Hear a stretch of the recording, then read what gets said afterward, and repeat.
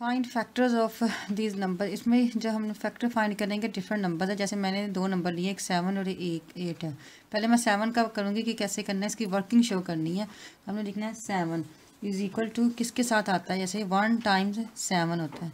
और जो होता है सेवन किसी भी टाइम टेबल में नहीं आता है, ठीक है? तो इसका फैक्टर आ जाएगा वन कोमा सेवन यानी कि वन और सेवन ये दो इसके फैक्टर्स बने थे। अब जैसे हमारे पास में नंबर, दूसरा क्वेश्चन है, उसमें है एट है नंबर जैसे। तो आप इसको करेंगे एट इज़ इक्वल टू हो जाएगा। सबसे पहले तो वन टाइम्स एट करेंगे, ठीक है? दूसरा जो है इसके अलावा आप ये भी कह सकते हैं इक्वल्स टू और किस टाइम टेबल में एट आता है? जैसे हमें पता है टू में भी आता है। तो वन के बाद टू की बारी होती है जो टू टाइम्स बाय फोर होता है जो कि इक्वल्स टू एट हो जाता है। हमने एट बनाना था। उसके बाद थ्री में देखे थ्री में एट नहीं आता। फोर हम्म, में किया तो फोर ऑलरेडी किया हुआ है तो इसलिए ये ये इसके फैक्टर्स बनेंगे। तो हम इसको लिखेंगे वन कोमा और तरतीब से लिखना है कि पहले छोटा नंबर और फिर बड़ा नंबर ये इसके फैक्टर्स हैं।